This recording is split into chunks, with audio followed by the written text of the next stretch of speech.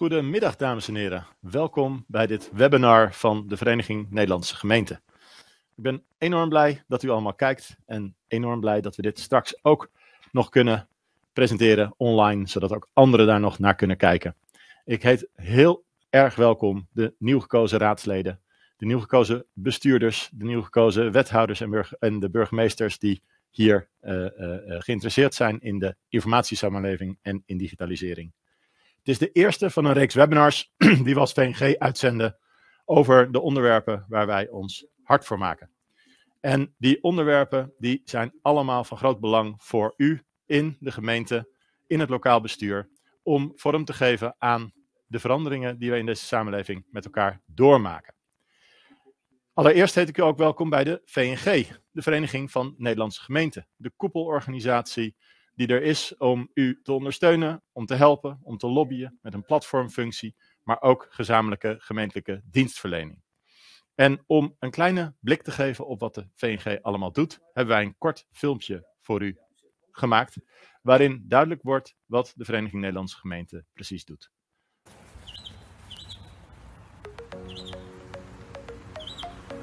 ...355 gemeenten vormen samen de Vereniging van Nederlandse Gemeenten. Samen werken zij aan een inclusieve, veilige en gezonde leefomgeving voor hun inwoners. Als VNG-organisatie helpen we hen daarbij. We leren van elkaar en bedenken hoe we nieuwe taken vorm kunnen geven. We vertegenwoordigen de gemeente bij het Rijk, we wisselen kennis met elkaar uit en we verlenen diensten aan onze leden. De VNG is gevestigd in de Willemshof. In totaal zijn we met 800 medewerkers. We werken vanuit één VNG-huis als één concern. De komende jaren streven we ernaar om steeds intensiever samen te werken. De VNG is een netwerk in netwerken. Onze leden nemen deel in netwerken zoals de P10, de G4 en de G40. We werken samen met veel andere partijen, zoals het Rijk, de provincies, de waterschappen, maar ook de Vereniging van Wethouders en het Genootschap van Burgemeesters. Hoe wordt de VNG eigenlijk gefinancierd? We leven van de contributie van onze leden. We ontvangen soms subsidies of bijdragen vanuit het Rijk. En we hebben een fonds gezamenlijke gemeentelijke uitvoering. Als VNG werken we aan een sterke lokale overheid. Dat doen we door agenda-zettend te zijn op voor gemeenten relevante vraagstukken en ontwikkelingen en door de lokale uitvoering centraal te stellen bij maatschappelijke opgaven. De VNG ondersteunt haar leden, de gemeenten, door van elkaar te leren en te helpen bij het leveren van goede diensten. Van onze dienstverlening leren we weer voor onze belangenbehartiging. We doen dit vanuit één huis, het VNG-huis. En jij bent daarin een belangrijke bewoner en daarmee een ambassadeur van de VNG.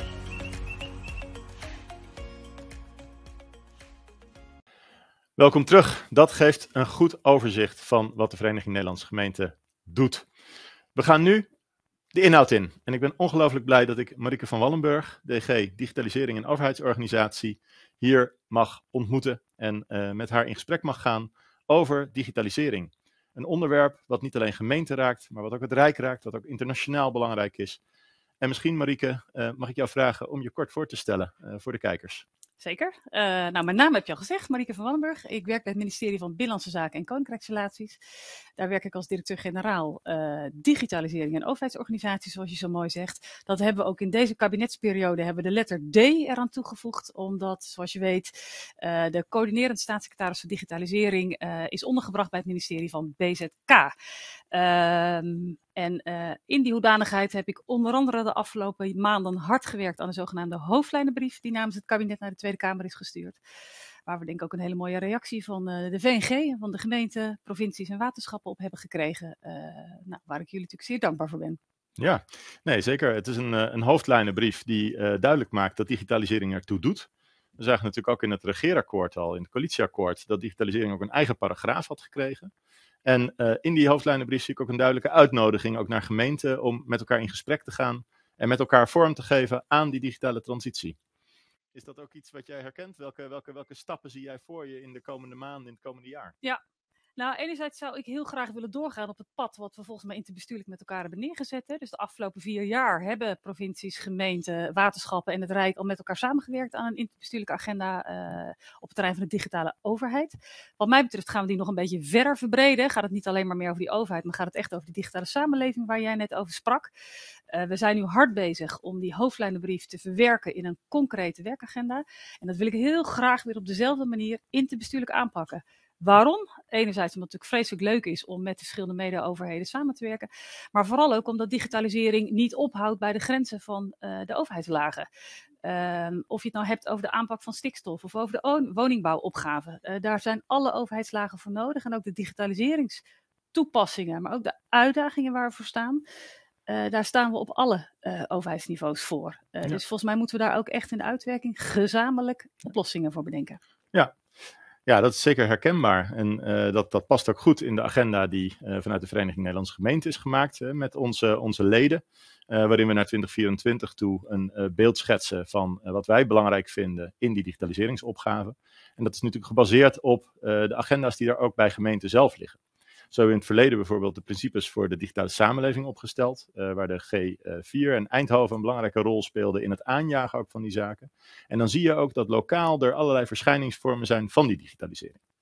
We hadden heel graag op dit moment ook Peter Snijders, de voorzitter van de commissie Informatiesamenleving van de VEG, in de call gehad, maar er zijn uh, technisch wat problemen ontstaan, dus we hopen dat hij nog aansluit, maar we weten dat niet zeker. en we gaan dus in die zin ook eventjes verder met het gesprek. Uh, ik zal die rol een beetje proberen op mij te nemen, want uh, uh, bij de gemeente zie je natuurlijk ook dat ja, in die gemeente die impact van digitalisering ook, ja, ook vorm krijgt. of dat nou de, de Ubers zijn die door de stad rijden, of de Airbnb's die de binnenstad veranderen, of de, um, um, de impact van online aangejaagde ordeverstoringen. in de gemeente zien we dat ontstaan. Um, dat samenspel tussen, tussen Rijk en gemeente en ook met zo'n coördinerend bewindspersoon, Um, ja, dat is iets waar we de komende jaren graag aan willen werken. Ik heb begrepen dat de staatssecretaris ook overweegt om een aantal gemeenten te gaan bezoeken. Zeker. Ze is ook al bij een gemeente geweest, hè, bij de gemeente ja. Breda. Uh, daar heeft ze onder andere ook gekeken, in dit geval naar hoe de gemeente Breda uh, met, de, met de, uh, op, de opvang van vluchtelingen aan het werk is. Maar ze heeft daar ook een bezoek gebracht aan het informatiepunt digitale overheid. Waarin gemeenten denk ik ook op een hele mooie manier samenwerken met bibliotheken. om ook mensen die nou ja, minder digitaal vaardig zijn te helpen bij vraagstukken die zij hebben met de dienstverlening vanuit de overheid. nou, dat was een eerste werkbezoek, maar ze willen heel veel graag uh, meer voeren, uh, omdat dat ook enorm helpt hè, om die praktische vraagstukken waar de gemeente tegenaan loopt, of een provincie of een waterschap, laat ik die ook expliciet noemen, ja. uh, te zien, zelf te ervaren. ik noem problemen, maar het zijn ook vaak heel vaak prachtige oplossingen die op gemeentelijk niveau worden bedacht. en kunnen we daar ook vanuit onze positie als Rijksoverheid, ja, kunnen we dat opschalen of kunnen we daar gebruik van maken of kunnen we daarvan leren, ook voor die bredere agenda die, die de overheid als geheel heeft. Ja. Ja, want die informatiepunten uh, digitale overheid hè, in de bibliotheken gevestigd. Het is ook wel heel mooi dat daar uh, vorig jaar ook middelen voor beschikbaar zijn gekomen. Dus dat heeft ook een impuls gegeven aan ja. dat, uh, dat hele dossier. Um, je ziet natuurlijk nu dat met de wet open overheid, hè, die recent eigenlijk in werking is getreden, ja, dat dat dossier nog weer een impuls krijgt. Hè. Dat gaat natuurlijk heel erg over transparantie, gaat heel erg over open overheid. Ja.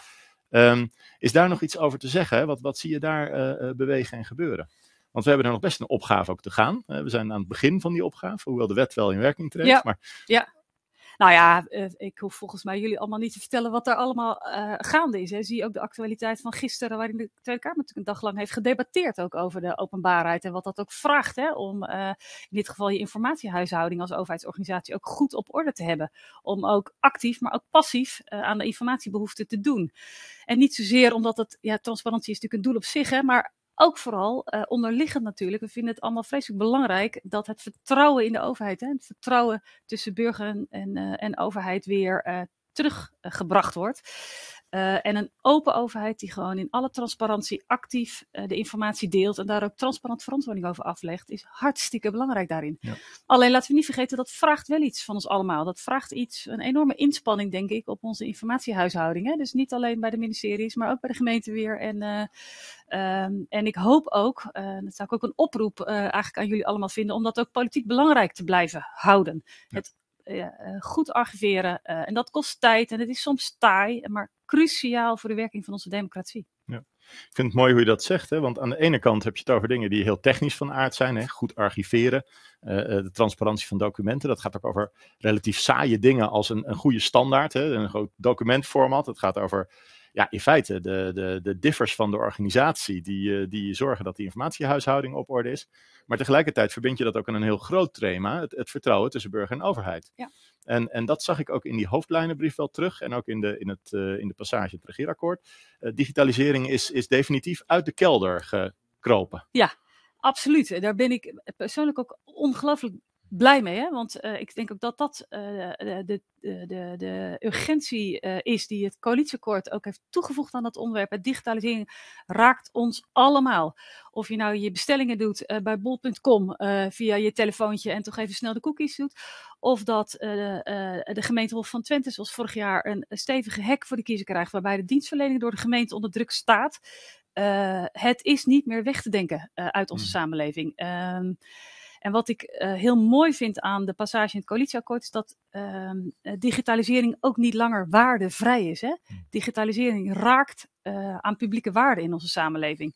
En ik denk dat het heel belangrijk is de komende vier jaar in dit kabinet, maar natuurlijk ook de komende vier jaar in jullie colleges uh, om dat waardedebat heel erg goed te voeren. Uh, dus of je het nou bijvoorbeeld hebt, jij zei net iets mooi over verstoring in de openbare orde. Er zijn prachtige digitale oplossingen die je kunnen helpen uh, om daar oplossingen voor te bedenken. En tegelijkertijd weten we dat dat heel snel raakt aan de privacy van mensen. Ja. Nou, dat debat uh, ik noem het maar even privacy versus uh, veiligheid en openbare orde, maar zo kan ik allerlei vraagstukken noemen. Dat moet gevoerd worden. Uh, ja. In al die raadszalen en in die Tweede Kamer en in die gedeputeerde. want dat is de politieke afweging die je met elkaar moet maken. Ja.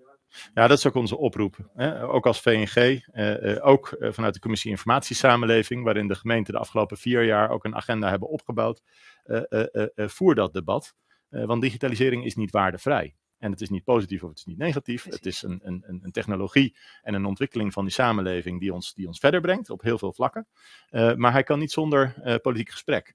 En dat politieke gesprek, ja, dat vindt in de raadzaal plaats, dat vindt in het college plaats, dat vindt in het kabinet plaats, in de Tweede Kamer. Uh, en dat is ook wel, denk ik, een, een, een vraag die van belang is. Hè, van wat kunnen wij nou vanuit het lokale niveau doen? wat doen we nou nationaal, wat doen we internationaal? Of moeten die dingen eigenlijk met elkaar verbonden zijn? Hè? Ja. Hoe, hoe kijk jij daarnaar, Marieke? Nou, kijk, ik denk dat dit, op dit onderwerp Europa een ongelooflijke stevige en ambitieuze agenda heeft. Uh, dus heel veel, of het nou gaat over de toepassing van algoritmen, de AI-act, uh, of dat het gaat over de Digital Services Act, waarin ook allerlei vraagstukken staan over desinformatie. Ook een belangrijk issue, denk ik, waar we als overheid mee te maken hebben. Uh, of over e-identity, digitale identiteit. Komt allerlei wetgeving op ons af vanuit Europa. ik denk dat het aan uh, de overheden in, uh, in Nederland is om te kijken uh, wat vraagt dat dan termen van implementatie? Vra hebben we daar voldoende aan of vraagt dat ook nog aanvullende wet en regelgeving op welk niveau dan ook nodig is in, in de samenleving om dat ook goed implementeerbaar te maken? dus wat dat betreft denk ik dat het in elkaars verlengde ligt. maar dat wij ook wij als Nederland echt heel blij mogen zijn dat Europa hier ook zo'n belangrijk en groot thema van hebben gemaakt. Hè? Dat ze ook een vice-commissaris daar natuurlijk voor hebben benoemd. Uh, dus in die zin uh, ligt het voor mij in het verlengen ja. van, ja. van elkaar. Ja. ja, dat is een herkenbaar beeld. wat wij in de Commissie Informatiesamenleving de afgelopen vier jaar gezegd hebben, en, en ook gevoed door de ervaringen in de gemeente, is dat het ook, ook heel belangrijk is om je verantwoordelijk te voelen voor die hele keten. Want soms is het zo dat iets wat in een, in een platformeconomie door een platform als Google of als, als uh, nou ja, noem ze allemaal de grote tech-giganten, ja, dat kunnen we niet vanuit de individuele gemeente uh, beïnvloeden. Kunnen we zelfs niet vanuit de gemeente gezamenlijk beïnvloeden. Maar dat kan Europa wel beïnvloeden. Ja. Maar wij zijn wel de partij waarin die samenleving in digitale vorm zich manifesteert. Waarbij we zien in de straat, in de wijk, op het plein wat er gebeurt. En wij zien wel de effecten daarvan. Ja. En die effecten, dat, dat is wel onze verantwoordelijkheid. Zo voelen we dat ook, om die effecten ook terug te brengen uh, naar het nationale niveau en naar het internationale niveau, naar het Europese niveau op dit geval. Ja, ja graag, hè, want ik denk dat helpt ons ook om uh, in onze beleidsvorming. Hè, dus, uh, want jullie maken het in de praktijk mee. Ja, jullie, de gemeente, ik moet tegen, ik moet tegen jullie spreken. jullie maken het in de, in de, in de praktijk mee. Jullie de, kennen de casuïstiek van iedere dag waar je tegenaan loopt, ook als het gaat om die waardediscussies waar ik het net over had. en het helpt in ieder geval het ministerie waar ik voor werk enorm om dat type vraagstukken ook te horen, te zien, te voelen. zodat wij ook in ons beleid dat ook echt vanuit die uitvoering, vanuit die gemeentekant ook goed voor ogen hebben. Ja, ja. Als je nou kijkt naar dat politieke gesprek, hè, want dat kan in de raad plaatsvinden, kan het college plaatsvinden, tussen raad en college natuurlijk, en ook op de andere niveaus die we net noemden. Wat, wat zijn nou vragen die jij je voorstelt dat een, een raadslid aan het college zou kunnen stellen? Of wat zijn nou onderwerpen die het college zou kunnen agenderen in de raad, waarvan jij zegt van ja, dat zou enorm helpen? Ja. En ik besef me ook meteen dat dat palet heel breed is, hè? want het, het zit van de, van de diepe techniek tot aan nou ja, hele uh, waardegedreven discussies over privacy versus veiligheid. Ja. Ja, ja, nou laat ik er een aantal noemen. In de eerste plaats, volgens mij gaan jullie daar later vanmiddag ook nog over spreken, denk ik, informatieveiligheid. Cybersecurity, volgens mij ontzettend belangrijk om dat ook uh, politiek te maken. Uh, omdat de afgelopen twee jaar ons hebben laten zien hoe kwetsbaar ook gemeenten daarin kunnen zijn. Dus ik denk dat dat echt een heel belangrijk onderwerp is. Een ander heel groot onderwerp waarvan ik weet dat het veel mensen ook bezighoudt in het dagdagelijks leven, is de toepassing van algoritme. Heb het erover met elkaar. Hoe kijk je daarnaar? Uh, hoe transparant is de gemeente daarin? In, uh, er zijn hele mooie voorbeelden. De gemeente Amsterdam heeft een prachtig algoritme-register uh, opgesteld. Waarin de algoritmen transparant worden tentoongespreid aan hun, aan hun inwoners. Nou ja, dat vind ik ook een heel belangrijk onderwerp waar je aan zou kunnen denken. Hm. Ehm, hierna spreken jullie over digitale grondrechten. Uh, dat is ook een mooi thema, maar waar gaat dat nou precies over? Hè? Daar kun je volgens mij ook een prachtig debat over hebben, politiek debat over hebben. Van, uh, en, en dan krijg je dus, waar we het net over hadden, hoe weeg je dan de verschillende belangen ten opzichte van elkaar? En vraag dat ook op gemeentelijk niveau. Uh, een agenda. Wil je op een gemeentelijk niveau een, een, een, een eigen cybersecurity agenda? Wil je een, nou ja, dat denk ik wel hè. Dat is volgens mij een aantal thema's waarvan ik... inschat dat het ontzettend belangrijk is om dat ook in jullie gemeenteraden aan de orde te hebben of in jullie colleges. Ja. Ja, ik denk dat dit inderdaad allemaal thema's zijn waar je, waar je die raadsvragen en die agendering in de raad uh, uh, heel goed op kan toepassen. Uh, we hebben recent, en jouw staatssecretaris Alexandra van Huffelen heeft daar ook aan bijgedragen met een filmpje, ook een webinar gehad waarin we daar wat, wat dieper op ingegaan zijn. Het is online nog terug te vinden. Misschien dat iemand dat zo meteen ook nog wel in de chat wil zetten. Ik nodig overigens de kijkers ook uit uh, uh, om uh, rustig zich vrij te voelen om vragen te stellen. Dan kunnen we die ook meenemen in het, in het gesprek. Um, die, die raadsvragen en de manier waarop je dit agendeert in de raad, dat is inderdaad een breed onderwerp. Hè? En wat wij in onze agenda naar waardevolle informatiesamenleving 2024 ook hebben gezegd, is van eigenlijk zie je dat vanuit een, een, een maatschappelijk en een bestuurlijk perspectief er eigenlijk een soort drie uh, uh, entiteiten zijn. Je kan het hebben over de basis op orde, dan gaat het over informatieveiligheid, dan gaat het over openbaarheid, dan gaat het over de, de manier waarop je je uh, gegevens ontsluit en de manier waarop je de burger ook in positie brengt, de inwoner in positie brengt om um, te kunnen weten wat er over hem of haar in, in de overheid gebeurt. dat zit heel erg ook op dat vertrouwensdebat. Het tweede niveau wat we gedefinieerd hebben is het, het zogenaamde kansen pakken. Je ziet tal van opgaven, hè, of het nou het, uh, het digitaal stelsel omgevingswet, of het ondermijningsdossier, of het woondossier is, of, ja. of het stikstofdossier. Uh, dat data en, en het slim gebruiken van data ook enorm kan helpen aan het vinden van oplossingen. Uh, ook het, um, het, maken, het nemen van de juiste beslissingen over de aanpak die je wil doen. En op het derde niveau hebben we gezegd, ja, we moeten ook echt duiden en reflecteren duiden en reflecteren wat er in onze samenleving gebeurt, uh, uh, hoe wij onze inwoners uh, zien bewegen, waar digitalisering gewenste effecten heeft, waar het ook ongewenste effecten heeft soms. want dat is ook heel belangrijk. Um, een aantal van onze grondrechten, ja, die veranderen ook door die digitale uitwisseling. En ik hoor in jouw verhaal, en ik, ik, zag dat eigenlijk ook in die hoofdlijnenbrief wel terug, uh, ja, dat dat ook wel denklijnen zijn, uh, nou ja, die niet misschien één op één overeenkomen, maar wel in dezelfde richting zitten. Zeker.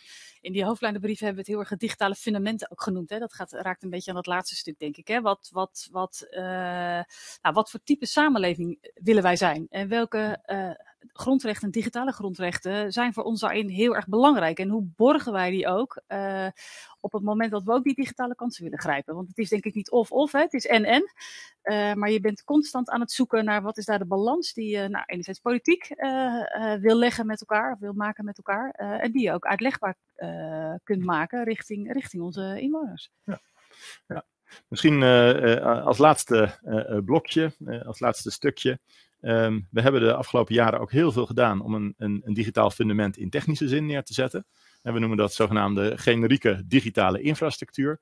veel van de gemeenten maken er ook gebruik van. Dan gaat het over dingen als DigiD. Nou, iedereen in de coronacrisis heeft het ook zeker bewezen dat dat met de, de, vaccinaties en met, met, met, met, met de testen ongelooflijk belangrijke infrastructuur is. We hebben ook een, een berichtenvoorziening, een berichtenbox. we hebben alle mogelijke standaarden voor uitwisseling. Ja, daar heeft jouw departement natuurlijk ook enorm veel aan gedaan als, als coördinerend en regisserend departement op dat gebied. Ik, ik heb begrepen dat we daar recent ook wel een soort doorbraak hebben gevonden. Hè? Zeker. Uh, ja, daar ben ik echt ontzettend trots op. En ook heel dankbaar aan de hulp die we daarbij ook aan de gemeente en aan de VNG hebben gehad. Hè. Kijk, we hebben die hele generieke digitale infrastructuur hebben we ook geplaatst onder de werk- aan uitvoeringsbeweging. Hè. Misschien moeten we daar ook nog even iets over zeggen, Nathan. De beweging die we interbestuurlijk ook de afgelopen jaren hebben ingezet om de uitvoering en de kracht van de uitvoering en het belang van de uitvoering ook heel nadrukkelijk uh, voor het voetlicht te brengen. en onderdeel van die, die, kracht van die uitvoering, dat, dat gaat over die verder verbeteren ook van de digitale overheidsdienstverlening. Uh, en een van de uh, dingen die, die daarover gaat, dat is die generieke digitale infrastructuur die jij uh, net. en we hebben daar denk ik afgelopen jaren twee dingen met elkaar voor elkaar gekregen. laten we nou meerjarig uh, gaan programmeren. Dus met elkaar meerjaar gaan vaststellen. Wat is nou die agenda voor die digitale overheid? En welke verbeteringen willen wij gezamenlijk, wij, die ministeries, de gemeenten, maar ook de grote uitvoeringsorganisaties van het Rijk, samen maken als het gaat om die digitale dienstverlening? En zullen we dat alsjeblieft ook centraal gefinancierd doen, zodat we meerjarig ook kunnen investeren? Ik leg zelf altijd een parallel met de fysieke infrastructuur, waarin we dat zogenaamde MEERT aanpakken. Nou, dat hoef ik de gemeente niet te vertellen. Dat brengt heel veel rust en duidelijkheid in een meerjarige inhoudelijke agenda die je met elkaar nastreeft. En ik ben ontzettend blij dat dat is gelukt, omdat ik denk dat we daarmee echt die gezamenlijke overheidsdienstverlening weer naar een hoger plan kunnen, kunnen brengen.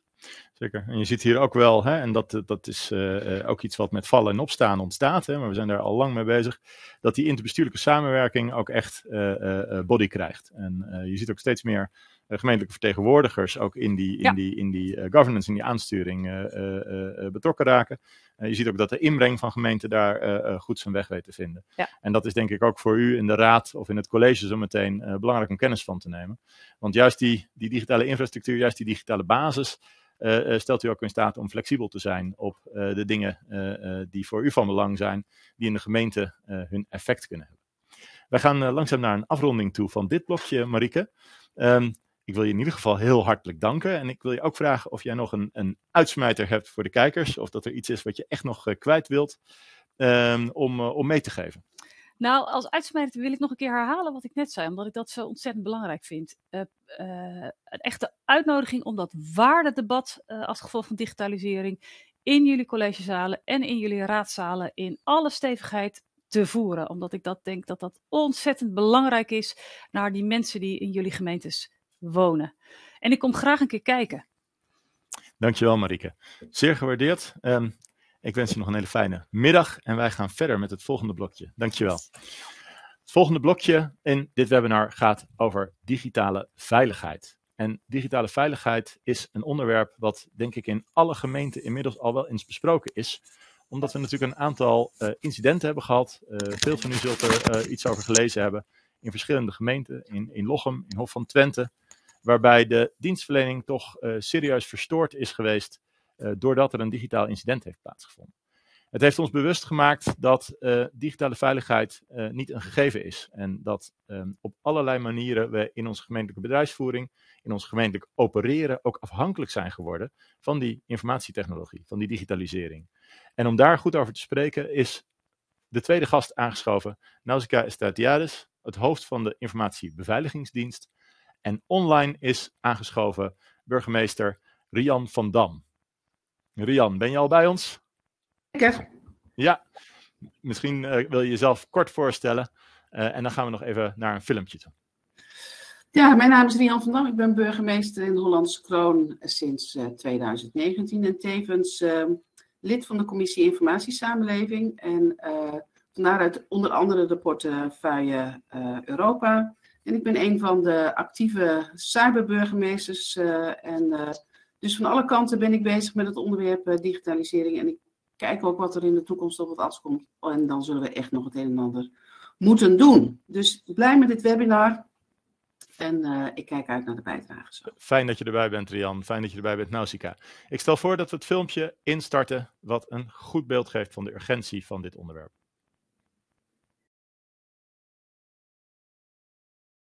1 december 2020 werd mijn gemeente Hof van Twente getroffen door een cyberaanval. En vandaag, 12 februari 2022, zijn we bijna klaar met de herbouw. Ruim een jaar van herstel dat financieel, maar ook emotioneel een zware wissel op onze gemeente heeft getrokken.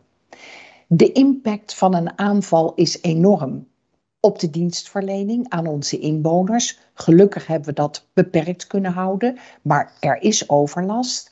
Op onze financiële positie. We zijn 4 miljoen euro verder voordat dit probleem is opgelost. En op de inrichting van de gemeentelijke organisatie. Een hek begint altijd met een menselijke fout. We zijn gelukkig geen robots. Gemeenten beheren een ongelooflijke hoeveelheid data en inwoners moeten erop kunnen vertrouwen dat die data bij ons in veilige handen zijn. En daar is wat voor nodig. Zo legt de Rijksoverheid ons terecht allerlei audits op. NCA, bio, het zijn allemaal termen die u langs zult zien komen als raadslid en die alles te maken hebben met informatieveiligheid. Maar er is meer nodig. Er is ook besef nodig dat de informatieveiligheid niet alleen de taak is van een ICT-team, maar zeker een taak van de hele organisatie, alle medewerkers van het college en van de raad. En daarmee is gezegd dat ICT aandacht, capaciteit en geld kost. En over dat laatste heeft u als raad in elk geval veel te zeggen. En als raadsleden zou u zich dus volgende vragen kunnen stellen. Is mijn gemeente wel veilig? Hoe is de informatieveiligheid in mijn gemeente nou eigenlijk geboord, geborgd? Heeft u als raadsleden duidelijke kaders gesteld, voldoende budget beschikbaar gesteld? Ik wil er maar mee zeggen, ICT is de moeite waard om goed naar te kijken en om u goed in te verdiepen. Wees daarmee nooit te laat. Dank u wel. Dankjewel Ellen Nauta voor dit mooie bericht uh, uh, in de vorm van een filmpje. En ik zou graag uh, naar Rian van Dam toe gaan en aan jou vragen, Rian. Um, wat deed dit in jouw gemeente toen dit bericht naar buiten kwam en toen jullie de impact daarvan begrepen? Nou, dat is wel een mooie vraag. Um, wat ik het leuke vind van het Hof van Twente is dat ze met hun ervaring ook echt naar buiten zijn gegaan en de ervaringen die zij hebben opgedaan, uh, ook met andere gemeenten hebben gedeeld. En ik, en ik was daar toen ik denk vorig jaar een keer bij, ook, uh, en uh, ze deden dat ook voor de gemeentesecretaris en ook voor de CISO's. En wat je natuurlijk ziet is op het moment dat zoiets naar buiten komt, de eerste reactie van iedereen is van, nou, ze zullen wel niet opgelet hebben, of hoe kan dat nou? Er komt natuurlijk al vrij snel een wachtwoord, ha, ha, ha, dat hebben wij natuurlijk niet. Hè? Dus iedereen denkt, dat overkomt ons niet, het is een beetje stom van hun. Um, maar als je daar dieper op inzoomt, dan is dat helemaal niet zo. Ja, natuurlijk zijn er dingen die dan niet goed gaan, maar dat kan eigenlijk, eigenlijk kan het jou ook overkomen. Dat besef um, uh, is naar aanleiding van zeg maar, dieper in deze zaak ingaan, is, is bij ons ook wel echt in, uh, uh, ja, binnengekomen. Ook bij onze CISO, bij de directeur bedrijfsvoering. Ja, je moet echt alert zijn, je moet up-to-date zijn en je moet zorgen dat je uh, zeg maar in, bij iedereen eigenlijk het besef van die um, uh, kwetsbaarheid van het menselijk handelen op dit onderwerp, dat dat, dat, dat eigenlijk altijd op de loer ligt. Uh, dus spullenboel op orde, bewustzijn, en dat gaf Ellen Nauta in een filmpje ook aan. Florian, Nausicaa, jij leidt onze gezamenlijke gemeentelijke informatiebeveiligingsdienst. Een, een dienst die ondersteuning biedt aan gemeenten met informatie en advies. Um, hoe groot is die cyberdreiging eigenlijk? Ja, inderdaad. De IBD uh, ondersteunt inderdaad gemeenten op het vlak van ja, preventie, detectie en ook oplossing. En ja, die cyberdreiging is, is duidelijk aanwezig. 100% veiligheid bestaat niet, maar je kunt gelukkig wel een heleboel doen om ja, grote narigheid en met name de impact na zo'n incident nou ja, te beperken. zo brengen we als IBD brengen we tweejaarlijks een, een dreigingsbeeld uit In dat beeld geven we eigenlijk een zicht op de verschillende soorten dreigingen die er zijn. want de dreiging waar we het net, waar we het zojuist over hebben gehad, is natuurlijk ja, de dreiging van cybercriminaliteit, een grote dreiging. Maar het is ook in het dagelijks werk zijn er ook kleinere dreigingen zichtbaar. Nou, de risico's die kun je eigenlijk onderverdelen naar risico's uh, voor, de, voor, de, voor de burger en de ondernemer, de risico's voor, uh, voor het bestuur en voor de politiek en uh, risico's voor de, voor de ambtelijke organisatie.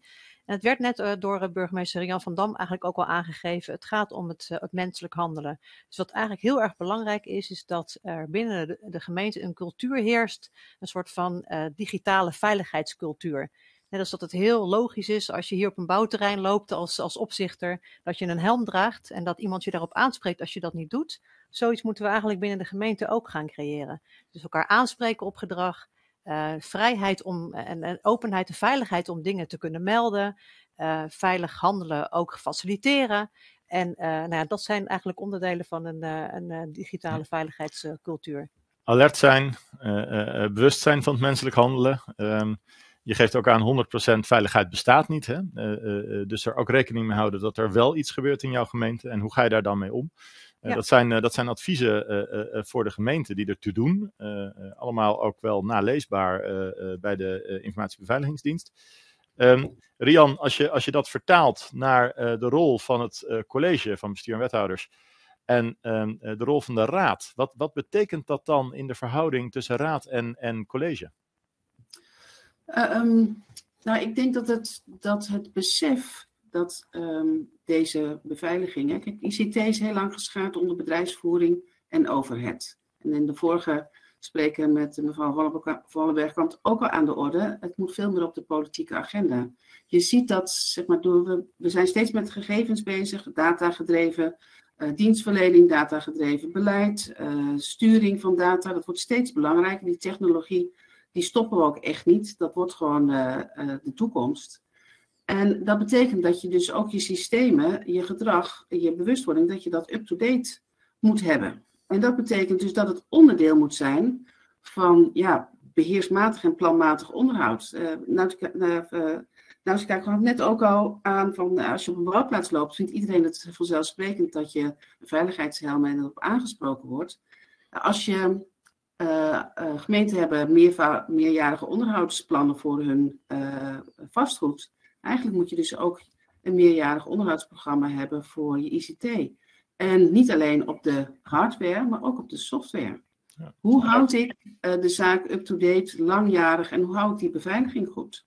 Ja, en de raad zou daarnaar kunnen vragen en het college zou daarover kunnen ja. rapporteren en voorstellen voor in kunnen dienen. Ja, en, en dat betekent dat als je als burgemeester meestal verantwoordelijk voor de uh, uh, informatieveiligheid. Wethouder vaak vanuit bedrijfsvoering uh, ICT.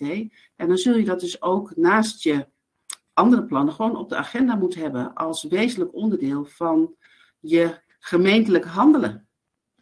En, en, en Nausicaa, bieden wij eigenlijk als, als samenleving, als overheid voldoende handvatten ook voor die digitale veiligheid. Hè? Want op de bouwplaats, ja, daar zijn eindeloze voorschriften voor. We hebben dat uh, in de afgelopen paar honderd jaar helemaal uitgeprotocoleerd. Uh, dat zie je natuurlijk veel in het fysieke uh, domein, in de fysieke samenleving. Dat we heel veel ja, borden hebben staan, maatregelen, rijbewijzen, adviezen vanuit die overheid. Hoe, hoe doen we dat digitaal? Wel, welke adviezen en welke, welke kansen zijn er daar om te weten wat je moet doen? Ja, nou binnen de gemeente heb je natuurlijk een, eh, een, normenkader. Hè? Dat, eh, dat heet eh, de, de BIO, de Baseline Informatiebeveiliging Overheid. Dat is een, een enorm pakket aan, aan normen waarvan wij als IBD zeggen van nou, het is van belang eigenlijk dat je een, een, met name te starten met een basisset daaruit. Dat noemen wij vanuit IBD de basis op orde. Je noemt het straks eigenlijk al het eigen huis op orde. En daarin staan eigenlijk een, hele, een aantal concrete maatregelen in. Uh, die ervoor kunnen zorgen om die basis op orde te krijgen. Ik denk dat het heel belangrijk is om je daarbij te beseffen dat het altijd een samenspel is, een goed evenwicht tussen een aantal technische maatregelen en een aantal organisatorische maatregelen. Want alles technisch inregelen uh, uh, zonder de organisatorische kant, dat heeft, kant heeft eigenlijk weinig zin en andersom geldt het eigenlijk hetzelfde. Dus echt een evenwicht van dat soort, uh, van dat soort maatregelen. En, en, stel nou dat ik als raadslid zit te kijken, wel, welke vraag stel ik dan aan mijn mijn college. En misschien is het er al, hè? misschien is het nog in vorming, hè? want we zijn nog niet uh, in heel Nederland uh, al, uh, al, al rond. wat ja. voor type vragen zou jij de ja. mensen aanraden om te stellen, dan wel te agenderen als je onderdeel van het college zelf wordt? Ja, Ja, het is natuurlijk van belang dat je zicht hebt op de risico's, hè, op de risico's die, die er zijn. En als je er dan zicht op hebt, heb je er dan ook grip op. En op het moment dat je denkt, ja, ik heb er eigenlijk geen grip op, dan moet je beseffen, bedenken van hoe komt dat dan? Komt dat omdat er mogelijk onvoldoende budget uh, is? Of er is er misschien een andere uh, reden erachter? En schroom dan ook niet als raad om uh, een technische briefing aan te vragen aan je CISO of je, aan de CISO of aan de FG om je te laten informeren. En misschien als je twijfelt, is het misschien helemaal niet zo'n heel gek idee om een rekenkamercommissie in te stellen om jij daarbij te adviseren. Dankjewel. Rian, de Commissie Informatiesamenleving, waar jij uh, een van de gewaardeerde leden van bent, alle leden zijn gewaardeerd, een van de gewaardeerde leden van bent, uh, heeft een agenda digitale veiligheid behandeld. die is uiteindelijk ook vastgesteld door ons bestuur van de VNG. En die agenda digitale veiligheid trekt het onderwerp ook nog wel iets breder. Hè? Dat gaat over de informatieveiligheid binnen de gemeente en van de gemeentelijke data. maar die gaat ook over bijvoorbeeld online ordeverstoringen, online getriggerde ordeverstoringen. Gaat ook over de verbinding tussen het informatieveiligheid in de gemeente, maar ook de informatieveiligheid in de samenleving. We zien bijvoorbeeld ook dat veel uh, misdaad aan het verschuiven is. Hè. De, de fietsendieven die plegen nu toch veelal meer online-achtige fraudes. En, en, die business is enorm aan het groeien. Um, hoe, hoe kijk jij daarnaar in jouw gemeente? Um, wat voor impact heeft dat? Nou, dat, dat is best nog um, een beetje diffuus. niet overal worden de eh, de zaken ook gemeld. Hè. Mensen schamen zich vaak ook nog wel dat ze ergens ingetrapt zijn. Dus als ik naar de cijfers kijk, die dan uh, officieel vanuit de politiegegevens komt, dan, dan zie je wel dat het enorm toeneemt. Je ziet ook dat zeg maar, de impact, hè, dus in geldbedragen bijvoorbeeld, enorm toeneemt. Maar ik denk dat dat nog maar een topje van de, van de ijsberg is. En um, uh, ook dan weer te, te, te vergelijken zeg maar, met, het, met de fysieke misdaad. Eh, dan weten we eigenlijk wel uh, wat we moeten doen. Als er een zakkenrollersbende uh, wordt gesignaleerd in de stad, dan komen allemaal waarschuwingsborden, dan treedt de politie op of die gaan kijken en er worden BOA's ingezet. En, maar die, de digitale zakkenrollerij is natuurlijk ook een groot probleem. En daar moeten we dan toch, ja, het enige wat we nu echt aan, aan informatie of aan handeling hebben, is dat we onze inwoners waarschuwen. het is ook nog eens lastig om op te sporen, want waar zitten deze uh, daders? Die kunnen ja, in het buitenland zitten. Dus ho hoe doen we dat? Hè? Uh, daar is echt nog wel, en ik moet zeggen, het OM en de politie doen hun best. En die zijn ook daar wel hard mee bezig. Maar het, moet, het vraagt ook nog wel wat ontwikkeling, alertheid. Um, en de techniek staat natuurlijk, die ontwikkelt zich heel snel. En wat we natuurlijk ook wel eens hebben, is dat aan de ene kant moeten we natuurlijk onze gegevens beschermen.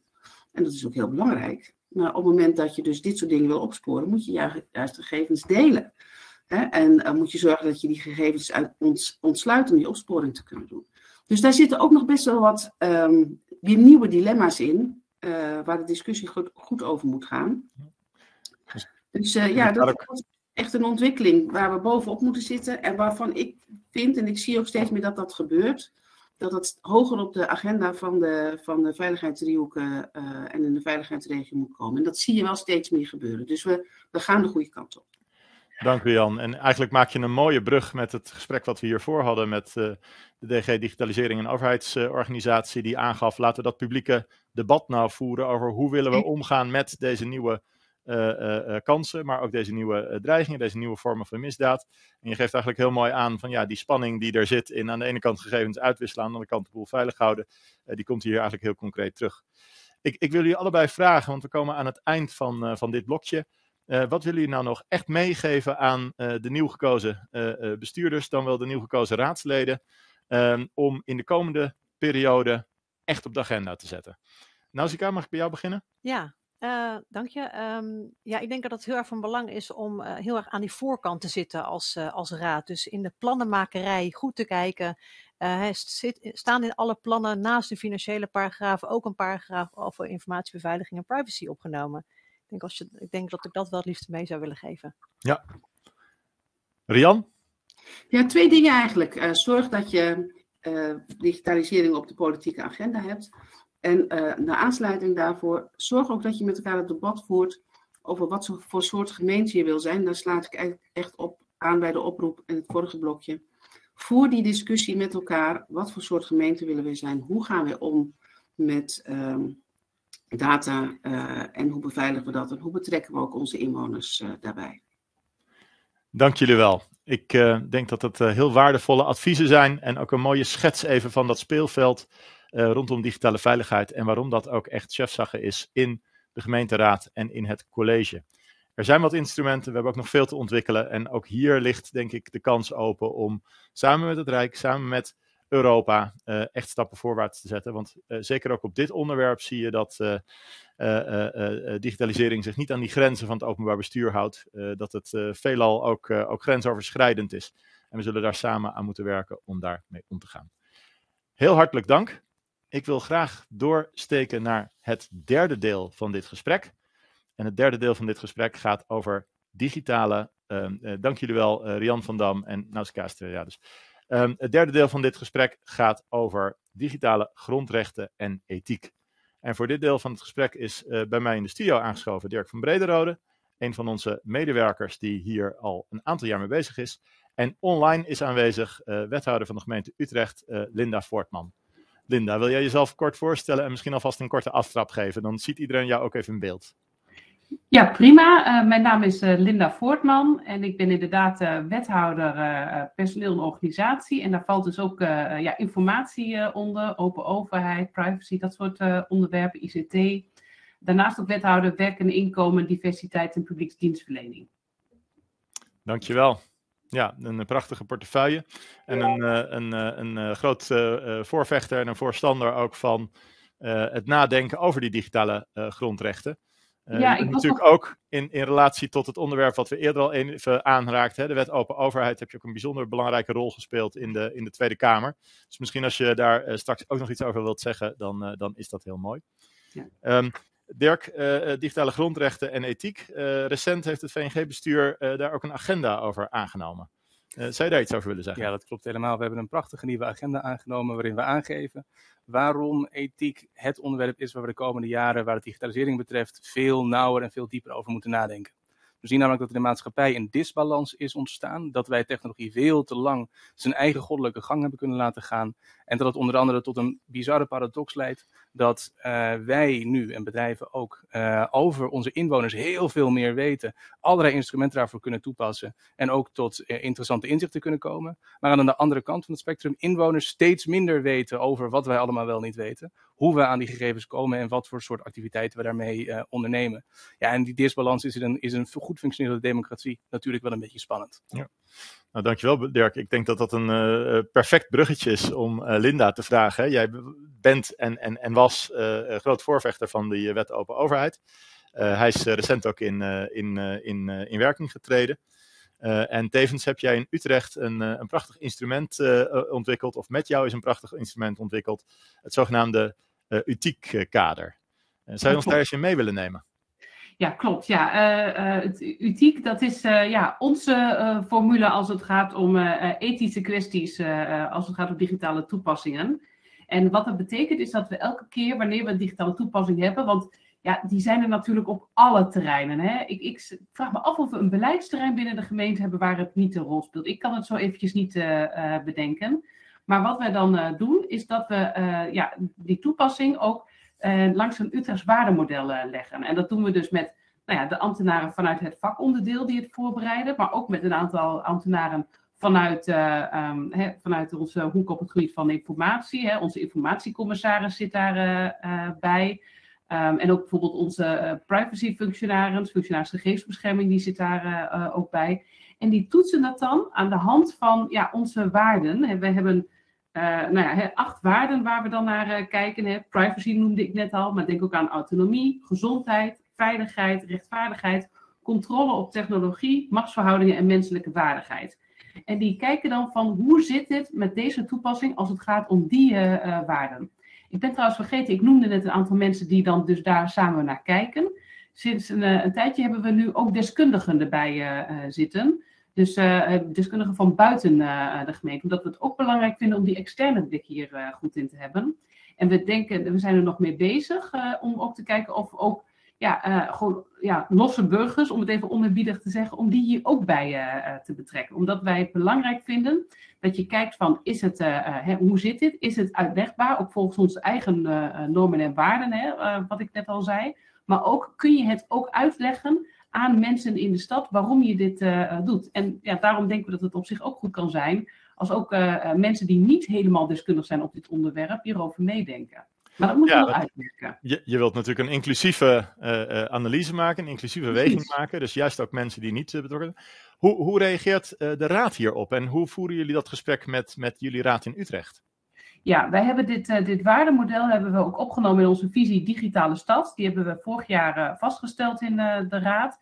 En de raad die is, wij hebben sowieso een raad die erg actief is op dit, dit onderwerp. Zeker ook als het gaat om privacy, maar ook inderdaad inclusie. Uh, ik merk dat mijn raad mij altijd heel erg scherp houdt op van ja, maar wat betekent dit nou voor mensen die minder digitaal vaardig uh, zijn? Of wat betekent dit nou voor, voor mensen die niet ja, helemaal bezig, die juist graag een persoon van vlees en bloed willen spreken? En ik vind dat ook heel erg belangrijk, want je bent er natuurlijk wel voor alle burgers. Maar we hebben dus dat debat ook gevoerd en we hebben ook dit waardekader ook laten vaststellen. In die digitale stad, in die visie digitale stad, hadden we ook een aantal sporen. En wat de Raad zelf nog heeft toegevoegd is het spoor digitale inclusie. En daar wilden ze ook op dat we ook daar expliciet op uh, bleven letten. Wat mooi. Ik had het idee dat we dat ook al wel op andere plekken hadden, maar ik vond het ook heel terecht van de Raad dat ze zeiden: dit moet echt een apart spoor uh, zijn. Ja, mooi. Goed om te horen. Dus die Raad die heeft ook echt impact op zo'n op zo'n kader. Ja, zeker. Misschien nog één ja. vervolgvraag en dan, dan, ga ik nog eventjes naar Dirk uh, hier in de, in de studio. Uh, Linda, wat, wat um, dat UTIEK-kader, uh, waar heb je nou gezien dat het toepassen van dat kader en, en het gesprek met, nou ja, met de samenleving, zeg ik eventjes kort, kortweg, dat dat echt een verandering van inzicht heeft opgeleverd? heb je daar ja. een voorbeeld van? Ja, zeker. Ja, ja, het zijn natuurlijk dan. Kijk, het is eventjes hè, die, die toepak van het kader. Het werkt dus niet zo van dat uh, deze groep mensen het goedkeurt of afkeurt. Hè. Zij geven vervolgens weer aan, uh, hè, geeft volgens ook weer, weer aan, aan onze ambtelijke ondersteuning. En dus uiteindelijk ook bij ons, want wij hakken natuurlijk de knoop door als college. Door van, nou, zo kijken wij er naar. Hè. Op deze waarde scoort het goed, op deze waarde, hier zien wij toch wel een spanning. En dan is het vervolgens dus uiteindelijk aan het college om te beslissen, we doen het toch of we doen het niet. Maar ja, om een voorbeeld te noemen van waar ik denk dat het echt wat heeft toegevoegd. Uh, namelijk in een situatie waarin we uiteindelijk besloten hebben het niet uh, te doen. Dat ging om iets, uh, een, een, heel druk knooppunt in, in de stad, waar we graag ja, willen dat we mensen kunnen verleiden om daar niet, ja, om, om, andere routes te kiezen. En er kwam op een gegeven moment de mogelijkheid voorbij dat je ja, via geofencing, ik weet niet of iedereen hier weet wat dat is. Ik zie in ieder geval dat er geknikt wordt bij jou, maar in ieder geval, hè, dus dat je dan via ja, uh, digitale gegevens van mensen via social media en zo. Dat je kunt zien welke routes mensen nemen. En dan ook probeert of je boodschappen op die social media. Corrigeer me als ik het niet goed uitleg. Maar uh, probeert om mensen te beïnvloeden. Neem niet deze route, maar deze route. Ja. En dat vonden wij iets waarvan we dachten, poeh, dat uh, gaat wel ver. Je kunt natuurlijk zeggen, ja, maar mensen zitten toch gewoon op Facebook. Mensen weten toch gewoon uh, wat de consequenties daarvan zijn. Maar wij zijn natuurlijk wel een overheid. Hè? Dus onze norm ligt hoger dan die van Facebook. Uh, dus vandaar dat we uiteindelijk hebben gezegd van nee, we gaan toch kijken naar andere manieren om mensen te verleiden om andere routes te nemen. Ja, wat een prachtig voorbeeld, Linda. Dat maakt het ook wel heel sprekend, denk ik, voor iedereen die kijkt of die nog gaat kijken. Mm -hmm. um, uh, het, is, uh, het is iets wat ertoe doet op een onderwerp waar je dat misschien nog niet verwacht. Hè? Het, het, het, ja. het, het, begeleiden van verkeersstromen. Ja, misschien... wat ik wel zou willen zeggen, want ik denk wel dat mensen vaak ook, ook wel snel denken aan de bedreigingen die er kunnen zijn door digitalisering. Maar bijvoorbeeld, ik ben zelf wethouder werk en inkomen. En wij hebben bijvoorbeeld het huishoudboekje, waarbij we juist ook mensen kunnen helpen om ja, hun financiën beter op orde te krijgen. Hè? Dan schieten wij voor de, de vaste lasten die mensen uh, hebben.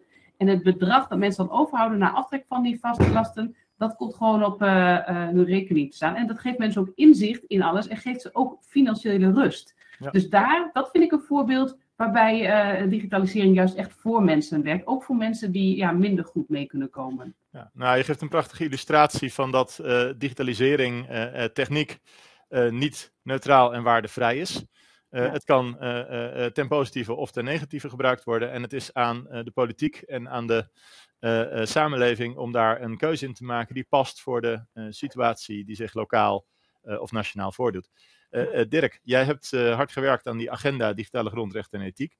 Ehm, met een agenda alleen ben je er niet. wat gaan wij in het land merken van die agenda?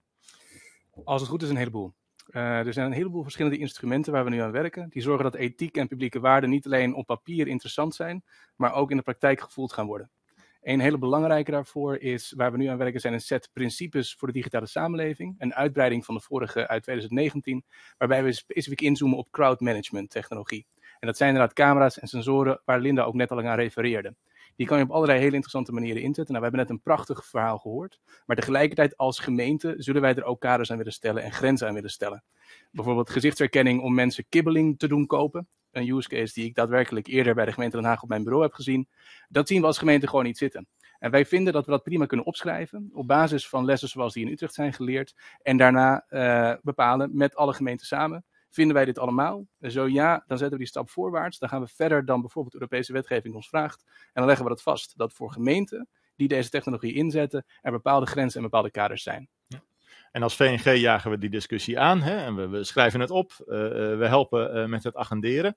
We, we, verspreiden lessons learned. we verspreiden ook de vraag van waar willen wij die grenzen uh, leggen met elkaar? En, en hoe, uh, hoe organiseer je dat? Hoe operationaliseer je dat? Kunnen de leden meedoen? Kunnen raadsleden zich melden? Uh, kunnen medewerkers van de gemeente zich melden? Nou, voor de principes geldt dat wij iets heel nieuws proberen. Dat wij een open online consultatie zijn gestart, waar iedereen mag meedoen, tot aan inwoners naartoe. En waarom er ook een hele groep bijvoorbeeld kritische experts zoals belangenorganisaties uh, als Bits of Freedom expliciet hebben uitgenodigd. Kunt u meedenken, kunt u reageren. Help ons dit tot een stuk te maken waar we allemaal achter kunnen staan. Dus dat is een van de routes waarlangs we dat doen. Dankjewel Dirk. Ja, en ik weet dat ook bij de, het maken van de agenda hè, zijn, zijn tal van gemeentes betrokken geweest. Uh, Linda heeft een prachtig voorbeeld gegeven van de UTIek. Uh, uh, je ziet dat die ethische commissies die over dit soort instrumenten nadenken, dat dat ook in steeds meer gemeenten begint te ontstaan. En ja, ook dat is iets wat we vanuit de vereniging van gemeenten heel graag faciliteren, kennis uitwisselen, lessons learned, best practices met elkaar delen. We doen dat via onze website, maar we gaan daarvoor ook het land in. Uh, dat is ook een manier van werken die we als VNG op heel veel onderwerpen doen. Hè. We willen vooral de kennis van gemeenten zelf ook weer delen met gemeenten en kijken of we tot kaders en normen kunnen komen. We zitten bijna aan het einde van het webinar. En ik wilde graag eventjes vragen, want er schijnt een vraag te zijn in de chat. die um, eventjes behandeld zou kunnen worden hier in het, in het gesprek. Ja, de vraag komt niet uit de chat, maar belangrijk om op te stellen kunnen gemeenten ervoor zorgen dat hun eh, digitale kanalen toegankelijk zijn voor mensen die minder digivaardig zijn en voor mensen met een beperking? Ja, het gaat natuurlijk over digitale inclusie, digitale toegankelijkheid. Um, ik uh, kijk eventjes, ik geloof dat Linda daar graag ook iets over wil zeggen. Mag ik jou als eerste het woord geven, Linda? Ja, sowieso zou ik uh, zeggen, nou, ook het motto van de uh, organisaties van mensen met een beperking, niet over ons zonder ons, dat geldt hier ook. Uh, wat wij zelf in ieder geval doen, is dat wij ook organisaties van mensen met een beperking ook betrekken. We hebben ook, ook wel panels om bijvoorbeeld ouderen of mensen met een beperking te vragen van wat vinden jullie hiervan. van? dus dat kun je sowieso doen. En sowieso zijn er natuurlijk ook allerlei normen op het gebied van toegankelijkheid. Het is natuurlijk ook goed, maar ik geloof zelf echt het meest in de mensen zelf betrekken. Ja, nou, dat, is, uh, dat is denk ik precies uh, de spijker op zijn kop, uh, Linda. En um, um, Dirk, ook binnen de VNG lopen er een aantal activiteiten hierop? Ja, zeker weten. Ja, het is ontzettend belangrijk. Het gaat 20 tot 25 procent van de inwoners raakt dit op enige manier. En ook waarschijnlijk uw en onze collega's weten we van dat dit een, dit een factor is. En het zit inderdaad in zaken als uh, aan de wetgeving voldoen, het besluit digitale toegankelijkheid bijvoorbeeld. Maar je ziet ook dat investeren in de digitale vaardigheden van en medewerkers om begrip te krijgen voor wat er speelt en inwoners ontzettend belangrijk is. En om een heel klein voorbeeldje nog te geven. Neem bijvoorbeeld PDF's. We zetten die allemaal maar al te graag op de website. Maar mensen met een visuele beperking gebruiken vaak uh, voorleessoftware. En die kunnen gewoon langs niet met uh, PDF's uh, aan de slag. Dus het is veel logischer om dan die tekst op de website te zetten in HTML, die code. En dan kan die software wel mee aan de slag. Ja. En dat lijkt blijkbaar, zo simpel kan het dus ook gewoon zijn. Ja. Als ik dat dan doorvertaal naar de mensen die in de raad zitten, de mensen die in het college actief zijn. Uh, stel hier vragen over. Uh, denk na over die 25% van de samenleving die niet die, toegankelijk, die toegang heeft op het niveau waarop er gecommuniceerd wordt, die die hulpmiddelen echt nodig heeft, waarvoor het belangrijk is dat we toegankelijk en begrijpelijk onze, onze boodschap over het voetlicht krijgen. zodat dat vertrouwen tussen inwoner en overheid, waar we ook het gesprek mee begonnen aan het begin van, van dit seminar, zodat die, die relatie steeds sterker wordt en, en steeds verder verbetert. Linda, wat zou je als uitsmijter nog mee willen geven aan de kijkers? Ja, nou, het zijn volgens mij vooral raadsleden hè, die net begonnen zijn. Dus nou, je hebt natuurlijk als raadsleden ook een aantal middelen die je ter beschikking staan. Hè, vragen stellen, debatten, dat soort zaken. Maar ik zou ook zeggen, laat je ook echt goed informeren. Hè, ik denk dat dat wel geldt voor meer gemeentes. Dat er mensen zitten, ambtenaren, maar ook externe organisaties die maar wat graag hierover vertellen. Ik zou zeggen, hè, organiseer ook bijvoorbeeld stadsgesprekken of raadsinformatiebijeenkomsten hierover. Uh, um, het gaat hier wel echt om de basis, de basis van het goede werk. Als dit soort dingen niet goed gaan, dan kunnen allerlei andere belangrijke opgaves die we in de stad hebben ook niet goed uitgevoerd worden. Dankjewel, een belangrijke oproep. laat je goed informeren en gebruik de instrumenten die je hebt als raad om dit onderwerp op de agenda te zetten en ook zelf te internaliseren. Dirk? Ja, en daarop aanvullend, ik denk dat een van de krachtigste instrumenten die de Raad misschien wel nu voorhanden ligt, is in te zetten op registratie van spannende technologie. Uh, eh, DG van Wallenburg verwees net ook al naar de registratie van algoritmen en sensoren in onder andere Amsterdam. Dat biedt namelijk aan de ene kant de raadsleden de mogelijkheid via inzicht en controle ook een goed gesprek te kunnen voeren, want je weet waar het over gaat. En aan de andere kant lok je de organisatie uit om ook op het niveau te komen dat zij het goede gesprek voeren voor wat er in zo'n registratie moet landen. Want het is niet sec alleen maar, daar hangt een camera en dit algoritme zetten we in, maar het gaat erover welke waarden liggen eraan ten grondslag en hoe hebben we die afgewogen. En juist daarvoor, volgens mij, met dat soort informatie kan de Raad het goede gesprek voeren. Hartelijk dank. Ik denk dat wij aan een uh, afronding van dit webinar toe zijn gekomen. Ik wil heel hartelijk danken Dirk hier in de studio, uh, wethouder Linda Voortman van de gemeente Utrecht. Heel veel dank uh, voor uw bijdrage. Um, we hebben met elkaar afgepeld waarom digitalisering ertoe doet, waarom die informatiesamenleving waar we met z'n allen in zijn beland vraagt om politieke sturing. Dat dat soms ook heel concreet en praktisch is op het niveau van het openbaar maken van documenten, op het niveau van het toegankelijk maken van websites, op het niveau van zorgen voor informatieveiligheid en een, een, een goede verdediging tegen incidenten die zich toch voordoen in de informatiehuishouding. Wetende dat onze organisaties veelal uh, van informatievoorziening afhankelijk zijn, wetende dat onze samenleving steeds meer en steeds vaker de digitale weg kiest. En dat dat een onlosmakelijk geheel, uh, gedeelte is geworden van samenleven. Ik hoop u nog een keer te zien. Um, ik wens dat de uh, betrokkenheid bij de VNG groot zal zijn en dat vooral de ondersteuning die u ervaart van de Vereniging Nederlandse Gemeenten groot zal zijn. Ik wens u veel succes in het belangrijke werk dat u te wachten staat. Veel dank en tot de volgende keer.